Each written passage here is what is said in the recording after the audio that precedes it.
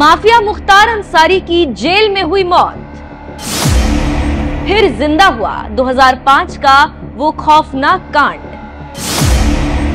जब सरेआम बीजेपी विधायक को भून दिया गया, कृष्णानंद के शरीर में उतार दी गई थी सड़सठ गोलियाँ। मुख्तार की मौत पर क्या बोला कृष्णानंद का परिवार?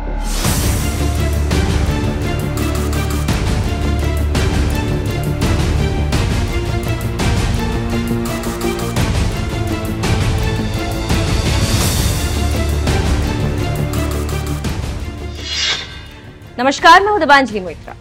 उत्तर प्रदेश के खूंखार माफिया मुख्तार अंसारी की मौत के बाद एक बार फिर साल 2005 की उस घटना की याद ताज़ा हो गई, जब सरेआम भाजपाई विधायक कृष्णानंद राय को गोलियों से छलनी करके मौत के घाट उतार दिया गया था। इस खौफनाक वारदात को अंजाम देने वाले माफिया मुख्तार अंसारी की 28 मार्च को ही जेल में हार्ट अटैक से मौत हो गई। उसकी मौत के बाद जहाँ कुछ समाजवादी पार्टी के नेता और कुछ कट्टरपंथी मुसलमान आँसू बहा रहे हैं तो वहीं दूसरी तरफ़ कृष्णानंद राय का परिवार इस कदर खुश है कि मुख्तार की मौत के अगले ही दिन बाबा विश्वनाथ के दरबार में पूजा करने पहुँच गया।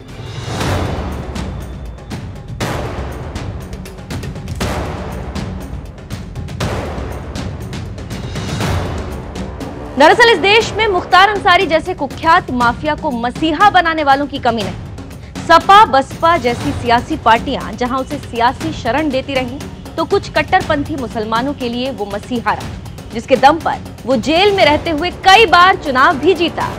लेकिन हकीकत यही है कि मुख्तार अंसारी पर 60 से ज़्यादा केस दर्ज थे, जिनमें से एक मुकदमा साल 2005 में हुए कृष्णानंद राय हत्याकांड से भी जुड़ा, जिसमें उसे 10 साल की सजा सुनाई गई। ये सजा पूरी होने से पहले ही 28 मार्च को पड़े दिल के दौरे की वजह से मुख्तार अंसारी की मौत हो गई। ये खबर जैसे ही कृष्णानंद राय के परिवार को मिली, अगले ही दिन, यानी कि 29 मार्च को उनकी पत्नी अलका राय अपने बेटे पीयूष राय के साथ बाबा काशी विश्वनाथ का दर्शन करने पहुँच गए इस दौरान जब पूर्व विधायक और कृष्णानंद राय की पत्नी अलका राय से मुख्तार अंसारी की मौत को लेकर सवाल किया गया तो उन्होंने कहा कि आज का दिन हमारे लिए बेहद खास है। बाबा विश्वनाथ पर पूरा भरोसा था। आज बाबा की वजह से न्याय मिला। हमको तो भगवान बाबा विश्वनाथ पर पूरा भरोसा था।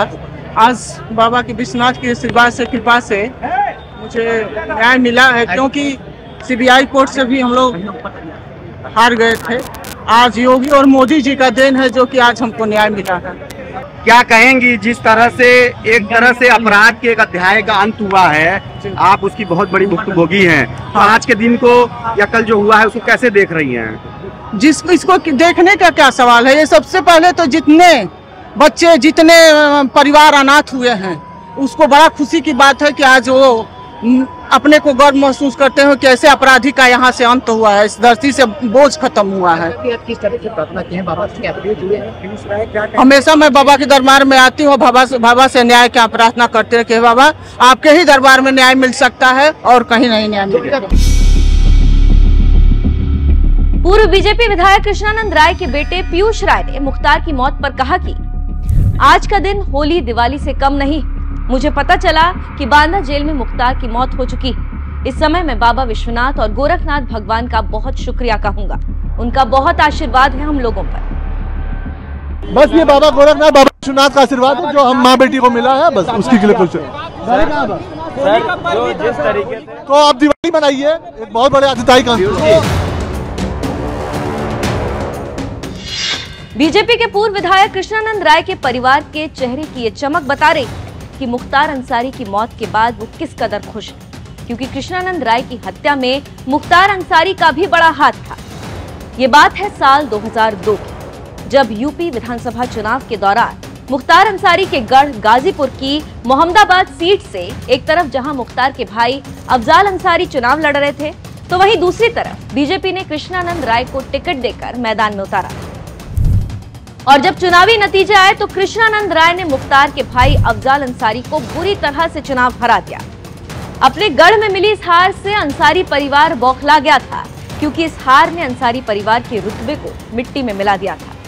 कहते हैं, इसी हार के बाद मुख्तार अंसारी ने कृष्णानंद राय को रास्ते से हटाना अपना मकसद बना लिया।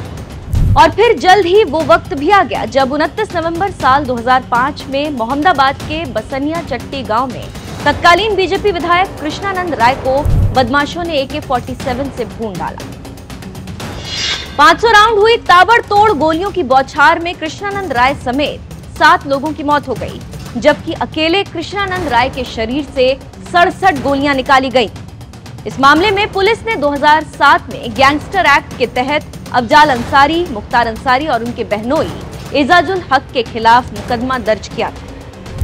पिछले साल अप्रैल में गाजीपुर की एमपी एमएलए कोर्ट ने मुख्तार अंसारी को 10 साल, जबकि उसके भाई अफजाल अंसारी को 4 साल की सजा सुनाई थी। कहते हैं, इसी हत्याकांड के बाद मुख्तार अंसारी के साम्राज्य के पतन की शुरुआत हो गई। इस हत्याकांड के बाद जेल गया मुख्तार अंसारी। फिर कभी जेल की सलाखों से बाहर नहीं आ सका। बाहर आई भी तो उसकी लाश। जब 28 मार्च की शाम हार्ट अटैक की वजह से उसकी जान चली गई। तरह से अतीक अहमद के बाद एक और माफिया मुख्तार अंसारी के खौफ का भी अंत हो गया।